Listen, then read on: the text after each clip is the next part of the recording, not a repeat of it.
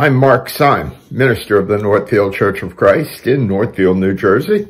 And I would like to welcome all of you to the evening services for Sunday, March the 13th. We'll be singing a few songs. We'll be observing the Lord's Supper. And I have a message uh, for you that I hope will be beneficial uh, to all of us. We're singing from Songs of Faith and Praise. If you have that book, uh, that's great. If you don't have it and you want to sing along with us through the magic of Google, uh, I will give you the title of the song and uh, you can perhaps look it up and you can sing along with us. So if you would turn your songbooks first to number 771. 771. The title of this song is Lord, Speak to me. Lord, speak to me. 771. Lord, speak to me that I may speak in living echoes of thy tone as thou hast sought me. So let me Seek thine erring children lost and lone. Strengthen me that while I stand firm on the rock and strong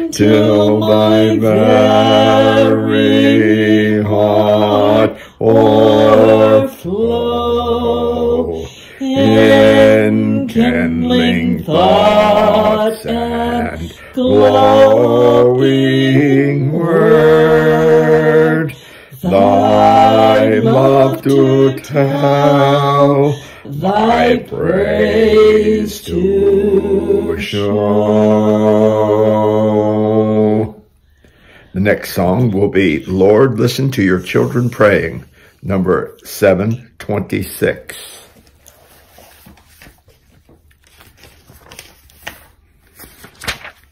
Seven twenty-six. Lord, listen to your children praying.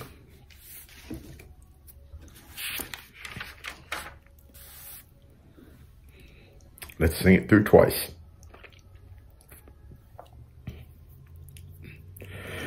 Lord, listen to children praying.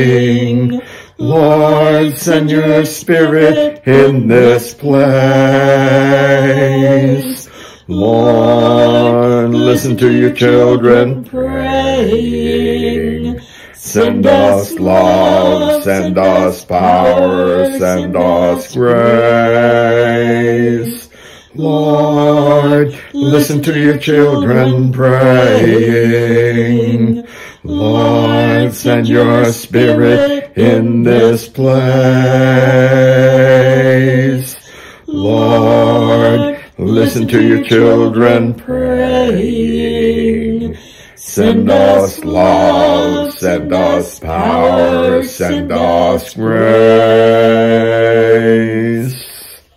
Before the Lord's Supper, let's sing number 705. 705. The title of the song is A Common Love. A Common Love. 705.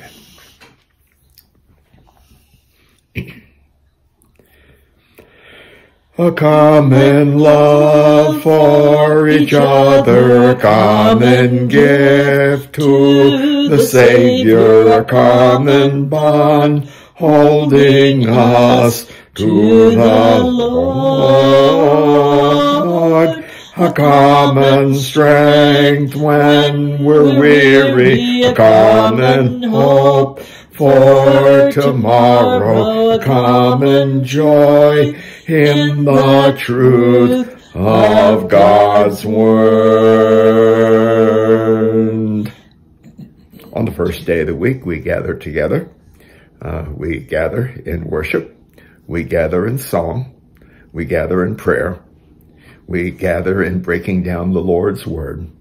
And perhaps the crowning touch of why we gather together is listed for us in Acts, the 20th chapter and the seventh verse, where it says, and on the first day of the week, they gathered together to break bread.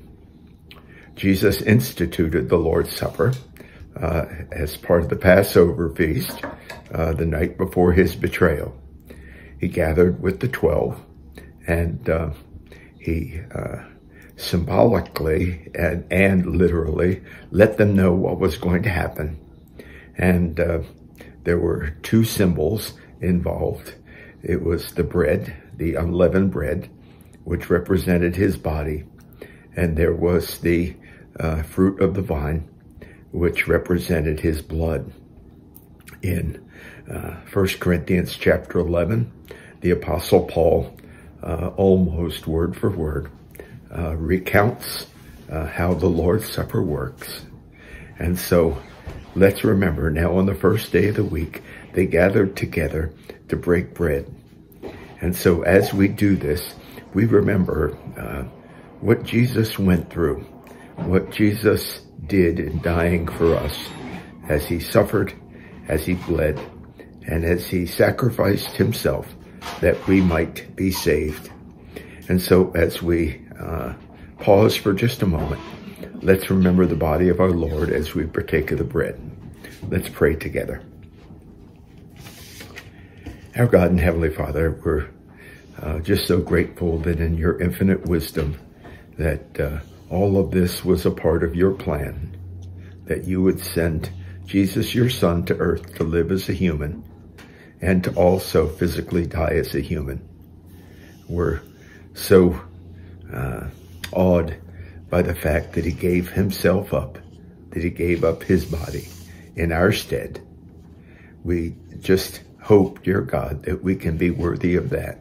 And as we partake of the bread, let's remember his broken body. We pray this in his most holy name. Amen.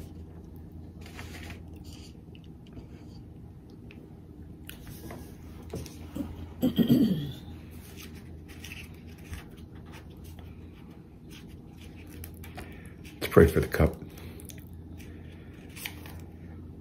As we drink of this uh, fruit of the vine, we just pray that uh, we will remember the blood that flowed from Jesus' head, his hands, his feet, and his side.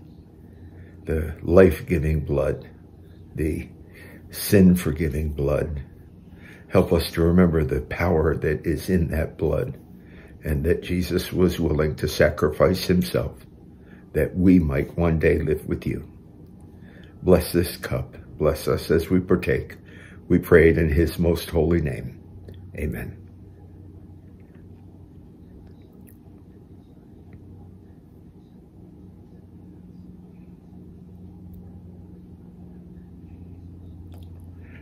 With the Lord's Supper being complete, we also usually wrapped around the Lord's Supper, although it's not a part, uh, we remember that uh, we're supposed to give back to the Lord that with which we have been prospered. And I just pray that as we as we do this, we'll remember that all good things uh, come down to us from you. And when we give, we just give you what is yours anyway.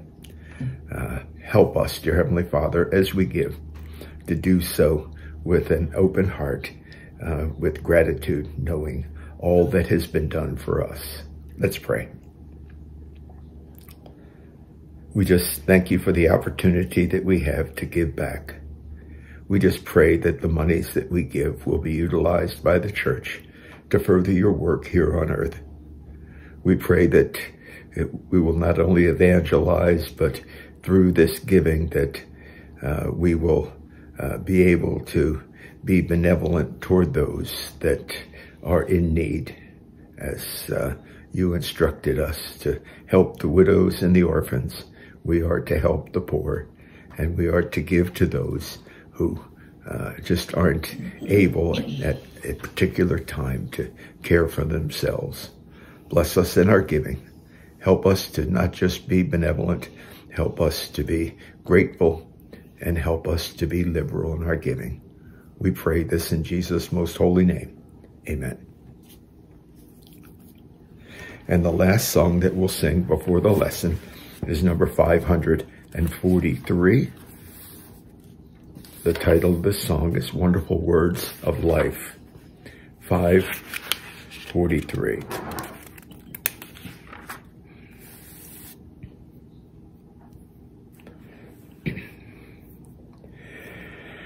Sing them over again to me, wonderful words of life. Let me more of their beauty see, wonderful words of life. Words of life and beauty, teach me faith and duty. Beautiful words, wonderful words, wonderful words of life. Beautiful words, wonderful words, wonderful words of life. Christ the Blessed One gives to all wonderful words of life. Sinner list to his loving call, wonderful words of life also freely given, wooing us to heaven. Beautiful words, wonderful words, wonderful words of life. Beautiful words, wonderful words, wonderful words of life. Sweetly echo the gospel call Wonderful words of life offer pardon and peace to all. Wonderful words of life. Jesus only Savior, sanctify forever. Beautiful words, wonderful words, wonderful words of life. Beautiful words, wonderful words, wonderful words of life. Thank you for participating in our song service. Uh, we're just uh, so grateful that we, we can praise our Lord and that we can praise our Lord together in song. And again, if you were there this morning at uh, our morning worship service, you uh, heard the title of our lesson this evening, and that title is Take Care What You Listen to. Take care what you listen to. This is about hearing and listening this evening. Um, in Jesus' day, the uh, Jewish world that Jesus was born into, being a, a Jew by lineage through the uh, house of Judah, through the house of David. Um, they faced a dilemma because Jesus was bringing uh, a special message to them, a message that had never been brought before. And the message was that of a return to the reign of God. We find that in the Gospel of Mark, the first chapter, verses 14 and 15. Um, if we can characterize Jesus as being somewhat unconventional uh, in what he said and the things that he do, so be it. Sometimes unconventional is taken in a negative way, but Jesus's unconventional was very, very good because he did things that the Jewish community, uh, vis-a-vis -vis the Jewish leaders of the day, would not do. And so, uh, let's, let's look at some of the things that Jesus said and did that made him so special. In Mark chapter 2, verses 14 to 17, we found out, found out that he ate with the tax collectors and the sinners. Imagine that. Can you imagine the Pharisees sitting down to a meal with the tax collectors and the sinners? In Mark chapter 2, verses 18 to 20, uh, as he talked to the Pharisees, uh, we find out that he did not encourage his followers to fast uh, as a way of a public display of spirituality. Now understand, he didn't say don't fast. All right? Because fasting was something that was carried on through Jewish tradition and through uh, the early church. So there was nothing wrong with fasting. There was nothing wrong with depriving oneself of food for a period of time so that perhaps you can get a little closer to the Lord through that. What Jesus didn't want, and it's what very often uh, the Pharisees would do and the religious leaders of the do uh, would do. He he didn't want them to do it for show. He didn't want them, just as they tithed, for them to tell everybody that they tithed. He didn't want them uh, everyone to know, oh, I haven't eaten in two hours or three hours or four hours and put on this long face and this long face of piety. And so in an, to them, an unconventional way, Jesus said fast, but don't do it just as a public display of your spirituality. In Mark chapter 2, verses 23 to 28, we find out that Jesus challenged some of the ideas of the day. And the ideas of the day that he challenged were things that the Jewish leadership took on as tradition. For example, when he did good things on the Sabbath, it broke their concept of what the Sabbath was all about. The, the Sabbath was supposed to be the day dedicated to God. On the Sabbath, you weren't supposed to go so far from home. Uh, you had to make sure you were home before uh, nightfall. And because of this, they grew jealous of Jesus and they wanted to destroy him. In Mark chapter 3, verse 22, they came saying, he is possessed by Beelzebub. Beelzebub. He casts out demons by the ruler of demons. And so what they were doing was they were attributing what Jesus said, what he did, and even the healings that he did, they attributed those to demons, to a demon part of him, not a godly part of him. Now, this puts the people at large, not the Jewish leaders, but the majority of the Jews on the horns of dilemma. Now they have to make a decision. Who are we going to listen to? Are we going to listen to these Pharisees and these Sadducees? Are we going to listen to the leaders? Are we going to listen to Jesus? This man that we see that heals the sick, brings the dead back to life, calms the sea. And so with that in mind, in response, Jesus challenges not only his disciples, but the people that he speaks to and the people that he teaches. And he says something very important to them. Hence the title of my lesson in Mark chapter 4, verse 24. And it says, take care what you listen to. Now, you know what?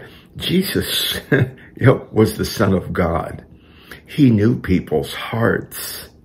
And with that, he understood the influence that the Jewish leaders had over the people. And he understood how difficult it would be for the people at large to block out the different voices that were waging war for their thinking and ultimately for their lives. I did a series of devotionals last week called Voices That Call. And in this case, we're, talking about just a little something different.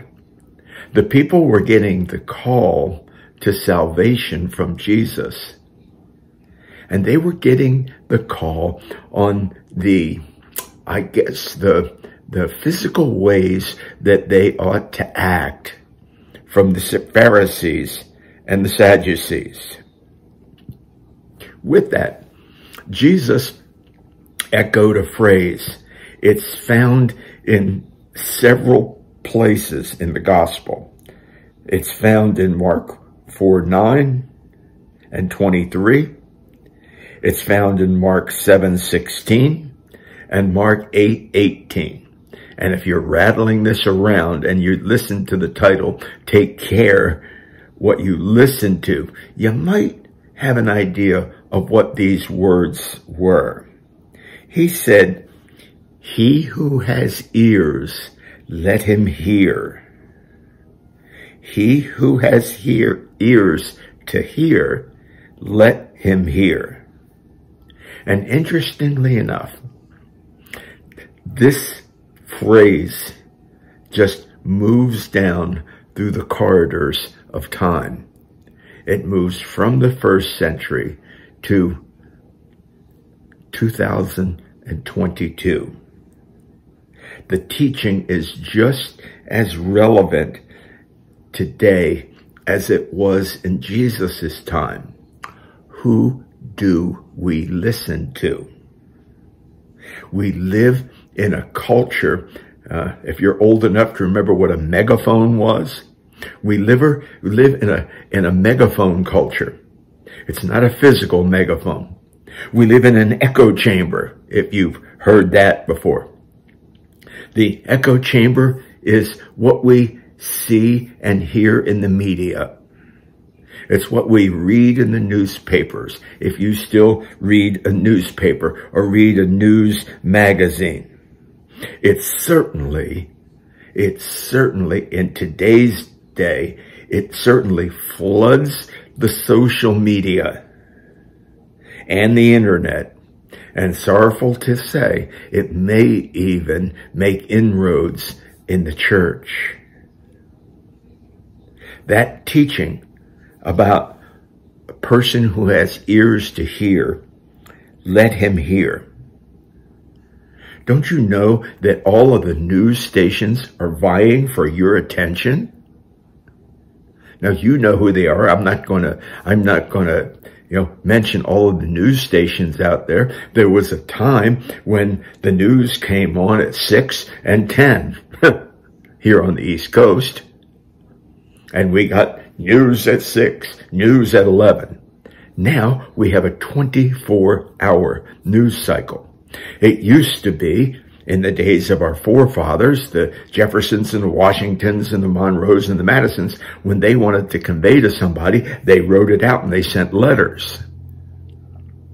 Today we turn on the computer and dit, dit, dit, dit, and we email it. or we turn on our device and we text it. And there are forums out there all over the place that are vying for your attention and my attention. And so each voice out there seeks to convince us that they're the voice that we ought to listen to. Jesus is teaching us bright, clear, the clarion call. Take care what you listen to. Now, some bring a message that's in conflict with the Bible, that's in conflict with our King of Kings. They seek to relabel evil as good and good for evil. And make no mistake, they're waging a war for your heart and my heart, for your thinking and my thinking. And so the call goes out again. Take care what you listen to. Now, certainly we're living in a world today that the world has shrunk so uh, drastically that we know things that are going on on the other side of the world just when they're happening. I know that when, uh, I think it was when we won the Battle of Vicksburg in the Civil War, it took two days or more for the news to get from Vicksburg to Washington, D.C. Now, this stuff is, is instant in the media. And so uh, the, the news outlets, the, the computer, our social media want to bring up these worldly issues and make them the most important things in our life. And understand, Russia invading Ukraine is an important thing that's going on. The multi, uh, the, the mega powers of the world that um, we vie for uh, economically and politically are important. Let's not, let's not brush that under the table. But you know what? Satan knows that if he can keep us focused on the worries of the world, the deceitfulness of riches, uh, the desire for other things, that he can su succeed in making the seed of God's word unfruitful in our lives. Take care what you listen to. In the social media, when people pass things on, how often are what they pass on things that are their own? but rather they read something, they make it theirs, and they send it to you and I. This is the belief now.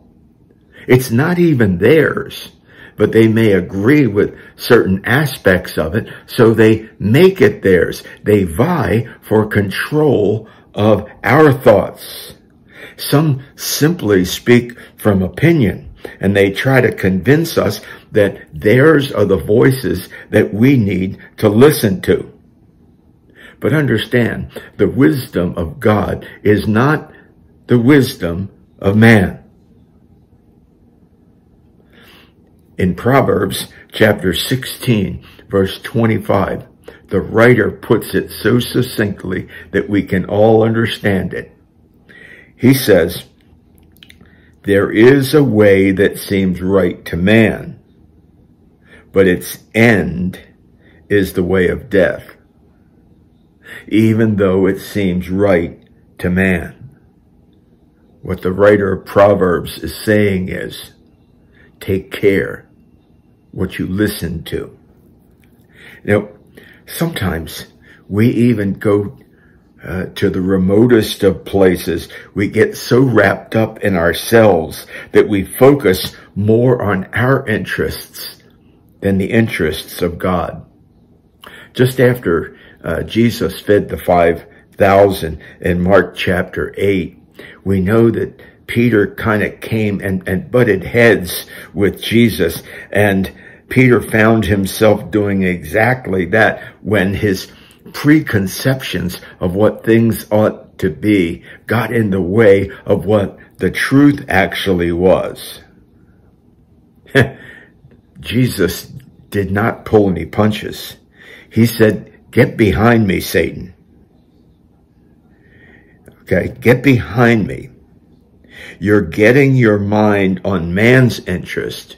You're setting your mind on man's interests, not God's interests. We as a Christian body must have our interests on God's interests. We ought to do in our lives what God wants us to do with our lives.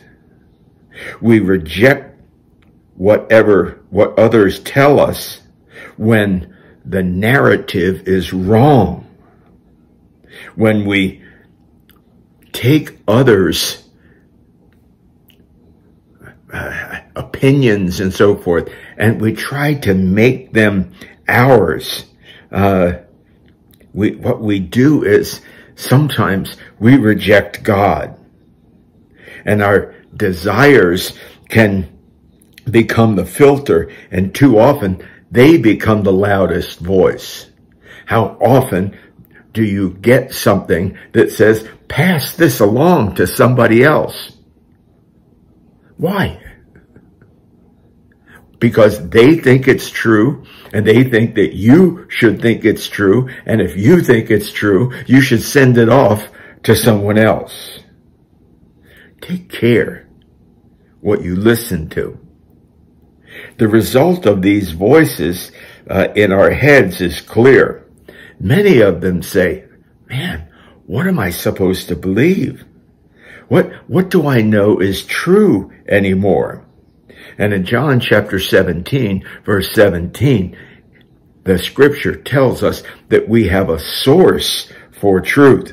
God's word can guide us, but we have to spend time listening to us, to it. Be careful what you listen to. So the question comes back to us. Do we have ears to hear? If so, what are we listening to?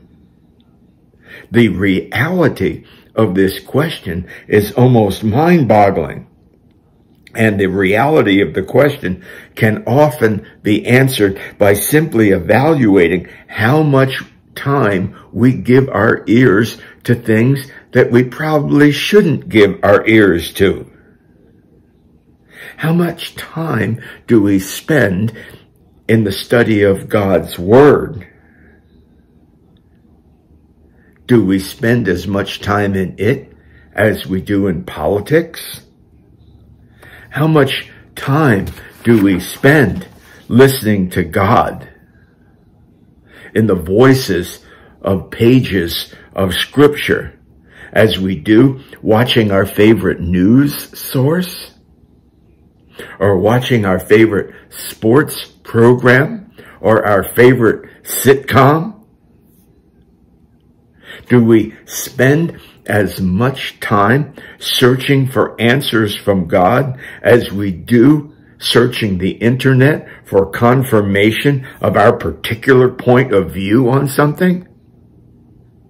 Do we see the things that compete with us for getting closer to God? Because there are things out there that will pull our mind away from God. Do we spend as much time telling others about God and salvation as we do uh, uh, telling others about the latest mandate, the latest theory, the latest candidate for political office to uh, either agree or disagree with that person? My challenge goes out to you this evening. And I think I think it's really important one. Let us be people that have ears to hear God's voice above all others. Let us be people who take care what they listen to.